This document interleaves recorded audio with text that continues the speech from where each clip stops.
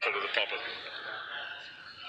There was a press conference this morning uh, by critics of the uh, the voter in-state, out-of-state residency issue with the, the universities.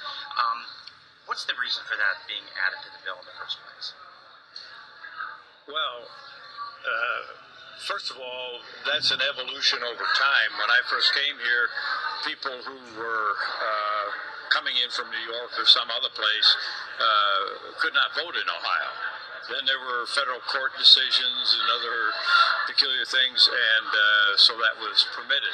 The real issue is for local areas in particular, what happens after somebody from New York City registers to vote? How do they vote on the uh, school levy? How do they vote on the sheriff's race, and so forth?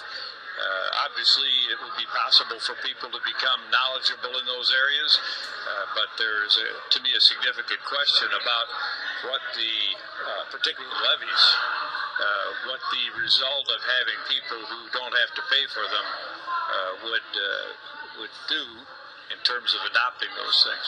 So is this to discourage them from participating, or is it to, or is it to level the playing field with other stu- other students? How is Well, it's, it's, it's to level the playing field in terms of who gets to vote on local issues in particular. Uh, I know, I can remember when this first started, it was uh, in, uh, would have been 70. And uh, uh, very frankly, uh, I don't think most of our folks thought that you could do that up until it was done.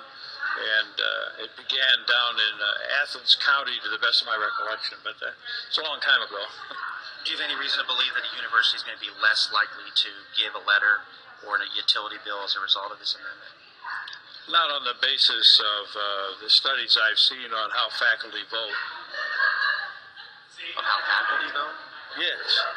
I mean, I think there will be encouragement uh, from the administration uh, in that regard.